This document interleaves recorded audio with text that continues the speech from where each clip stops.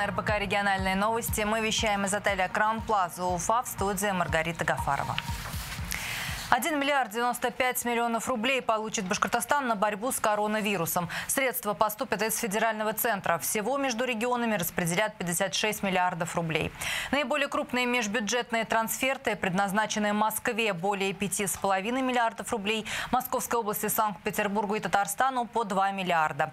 Средства пойдут на покрытие расходов, связанных с оказанием страховой медицинской помощи.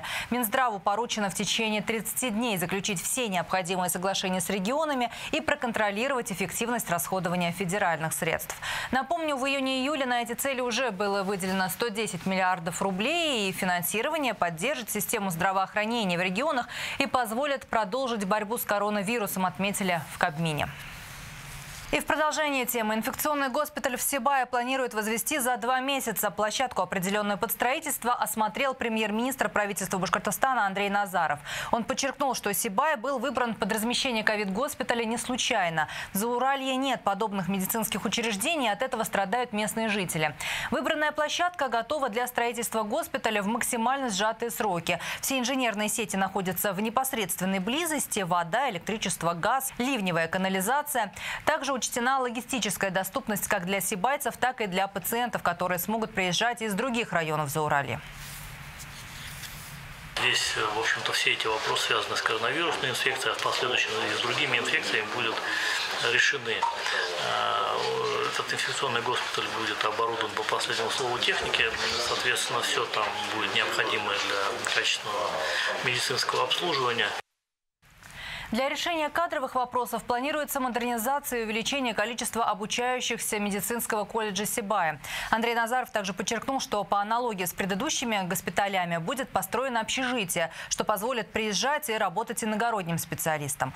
Госпиталь будет в форме цветка Курая, как и в селе Зубово Уфимского района и Стерлитамаке. В нем расположится четыре инфекционных отделения, одно отделение реанимации, интенсивной терапии, приемное отделение, экспресс-лаборатория, патологоанатомия анатомическое отделение. Кроме того, госпиталь будет оснащен станцией медицинских газов. Уровень охвата населения Башкортостана спортивными объектами достигнет 100% к 2030 году. На сегодняшний день этот показатель составляет 71%. Об этом говорится в стратегии развития физкультуры и спорта в Башкортостане на ближайшие 8 лет. Документ опубликован на официальном портале правовой информации. Предполагается, что доля жителей, занимающихся регулярно спортом, за это время увеличится с нынешних 48% до 59%. И в целом улучшится физическое здоровье и качество жизни людей. По словам председателя профильного комитета Госсобрания Раиля Садулина, поддержка спорта в республике идет по нескольким направлениям.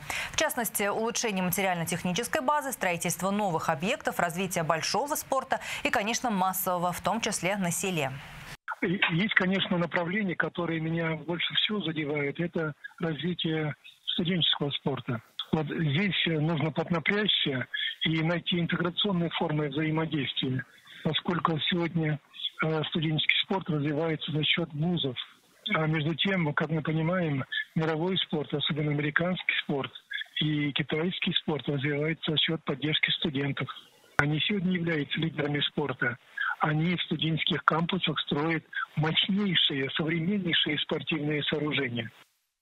Стратегии также перечислены основные риски, которые могут помешать достижению целевых показателей. Например, финансовые, связанные с тем, что на обеспечение программ может не хватить бюджетных средств, а сфера физкультуры и спорта не будет инвестиционно привлекательной. Рыночные риски подразумевают снижение доходов населения, из-за чего жители республики станут меньше времени уделять спорту.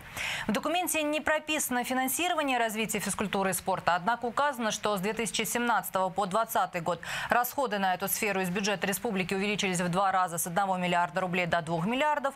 Федеральное финансирование в 2017 году составило 26 миллионов, а в 2020 году достигло 508 миллионов рублей.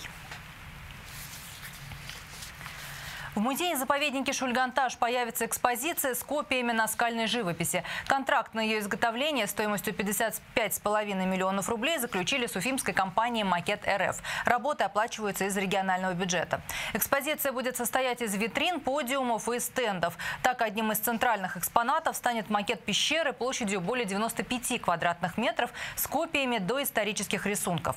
Кроме того, в музее представят реплики инструментов древних художников. Экспозиция будет интерактивной интерактивный. Посетители смогут сами создавать наскальные рисунки, посмотреть на 3D-костер, а также увидеть макет места археологических раскопок в пещере.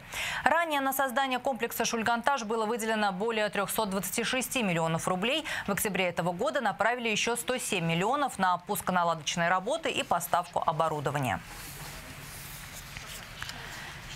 И в завершении выпуска информация о курсах валют, установленных Центробанком на сегодня. Доллар и евро растут. Американская валюта плюсует 26 копеек, курс 69 рублей 81 копейка.